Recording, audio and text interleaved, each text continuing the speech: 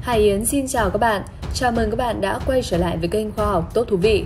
Các bạn thân mến, mới đây cơ quan quản lý không gian quốc gia Trung Quốc đã công bố những bức ảnh mới được chụp bởi tàu thám hiểm Zhurong từ hỏa tinh. Những hình ảnh này cho thấy rõ ràng bề mặt khô cằn đầy đất đá trên hành tinh đỏ. Không những vậy, tàu thám hiểm của Trung Quốc cũng gửi những âm thanh kỳ lạ được phát hiện trên hỏa tinh. Về phía NASA, họ cũng công bố trực thăng khéo léo của họ đã thực hiện thành công chuyến bay thứ 9. Nó đã phá vỡ kỷ lục về thời lượng bay và tốc độ. Ngoài ra, đây là lần đầu tiên trực thăng bay trên một khu vực gồ ghề, nơi mà các tàu đổ bộ không thể tiếp cận được. Vậy thực hư câu chuyện này như thế nào? Hãy cùng Tốt Thú Vị đi tìm kiếm câu trả lời trong video ngày hôm nay. Chúc các bạn xem video vui vẻ. Đừng quên đăng ký kênh và bật chuông để luôn đồng hành cùng Tốt Thú Vị nhé. Nào, chúng ta hãy cùng đi khám phá.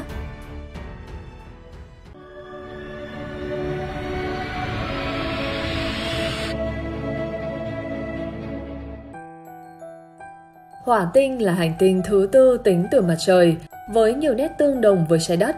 Nơi đây được đặt hy vọng rất nhiều về sự sống trong quá khứ cũng như tương lai. Chính bởi vậy, hỏa tinh luôn là địa điểm hấp dẫn, thu hút các nhà khoa học. Ở thời điểm hiện tại, không tính các tàu vũ trụ đang hoạt động trên quỹ đạo, ở trên bề mặt hỏa tinh chỉ có sự cạnh tranh duy nhất của hai cường quốc, đó là Mỹ và Trung Quốc. Với người Mỹ, họ đã thực hiện thành công 9 phi vụ hạ cánh trên hỏa tinh.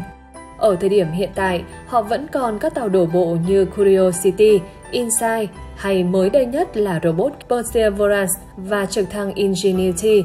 Đó là những con tàu vẫn đang hoạt động trên bề mặt của hỏa tinh. Về phía Trung Quốc, họ mới chỉ thành công duy nhất một lần hạ cánh trên hỏa tinh, đó là tàu đổ bộ Zhurong. Sự kiện này đã giúp Trung Quốc trở thành quốc gia thứ hai sau Mỹ hạ cánh thành công tàu đổ bộ lên bề mặt hành tinh đỏ. Mới đây, Cơ quan Quản lý Không gian Quốc gia Trung Quốc CNSA đã công bố những bức ảnh mới được gửi về từ tàu đổ bộ Zhurong. Những bức ảnh này được phía Trung Quốc công bố vào ngày 9 tháng 7 năm 2021. Đây là bức ảnh cho thấy rõ ràng tảng đá trên hỏa tinh.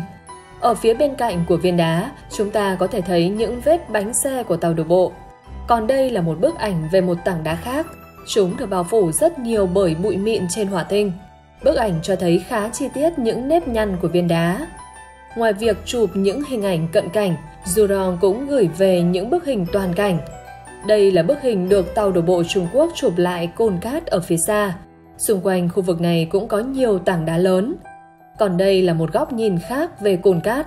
Nó cho thấy khu vực mà tàu đổ bộ đang khám phá. Chúng khá bằng phẳng. Ở phía xa của bức ảnh có một ngọn đồi khá cao. Chúng được thể hiện khá rõ ràng trong bức hình. Đây là một bức hình khác cho thấy địa hình của khu vực. Ở bên góc trái bức hình là một tảng đá khá lớn. Đặc biệt ở phía xa bên góc phải của bức hình có một khối tối màu khá lớn. Phía Trung Quốc không chú thích cụ thể nó là thứ gì, nhưng bằng những gì thấy trong bức hình, có lẽ đây cũng là một tảng đá lớn, chúng được nhô cao trên bề mặt của hỏa tinh. Ở thời điểm hiện tại, tàu đổ bộ Zhurong đã hoạt động được khoảng 56 ngày trên hỏa tinh. Nó đã di chuyển được quãng đường hơn 300 mét và tàu đổ bộ vẫn đang thực hiện các nhiệm vụ khoa học mà nó được giao. Trước đó, vào ngày 27 tháng 6 năm 2021, phía Trung Quốc cũng công bố một đoạn âm thanh. Nó được ghi lại trên bề mặt của hỏa tinh. Và đây là những gì mà tàu đổ bộ đã ghi lại. Xin mời các bạn hãy yên lặng trong giây lát để cùng lắng nghe nhé.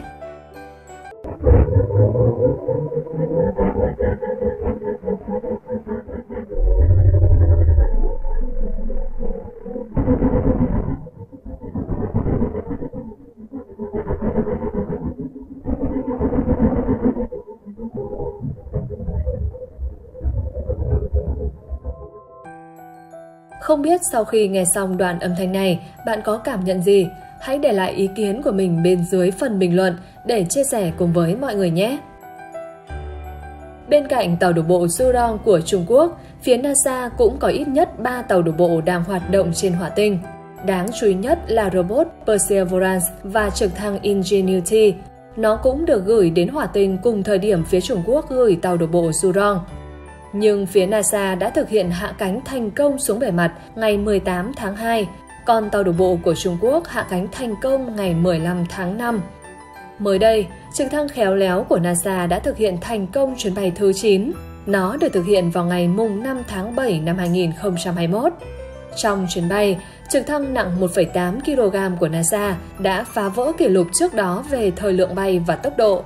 Theo đó, trực thăng đã bay trên không trong khoảng thời gian 166,4 giây, lâu hơn rất nhiều so với thời gian bay của các nhiệm vụ trước đó. Ngoài ra, nó cũng di chuyển với vận tốc kỷ lục đạt tốc độ khoảng 5 mét mỗi giây. Và đây là bản đồ của trực thăng đã di chuyển. Trong chuyến bay thứ 9, nó được giao nhiệm vụ bay từ một khu vực này sang khu vực khác.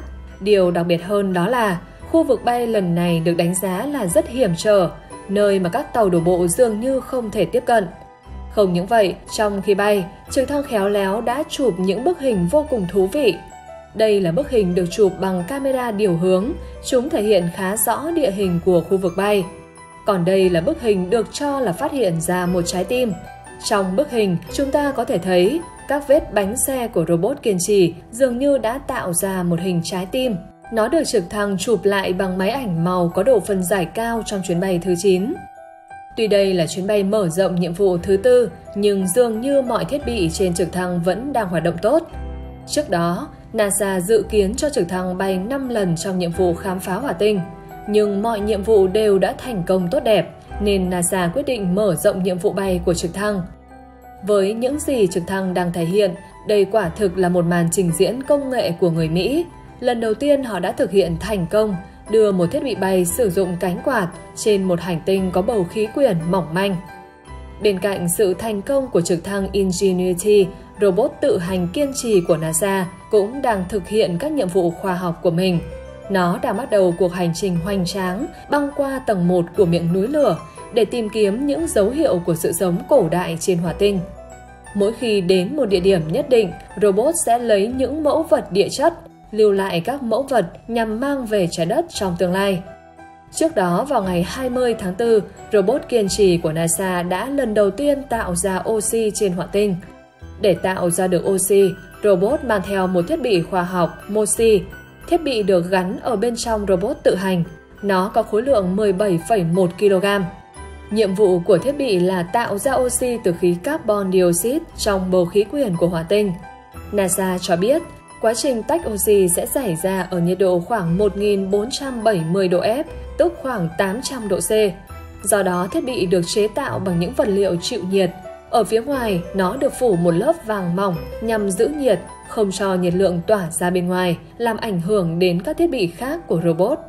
Việc tạo ra oxy từ bầu khí quyển hỏa tinh giúp các nhà khoa học hy vọng về nguồn năng lượng tái tạo trong tương lai khi thực hiện tham vọng đưa con người đặt chân lên hành tinh đỏ.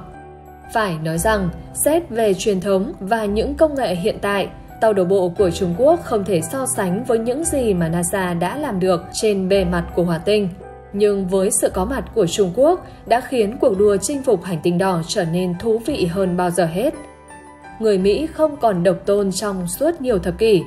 Có thể nhờ những tác nhân này giúp chúng ta có nhiều cơ hội chiêm ngưỡng những màn trình diễn công nghệ tuyệt vời của khoa học trong tương lai.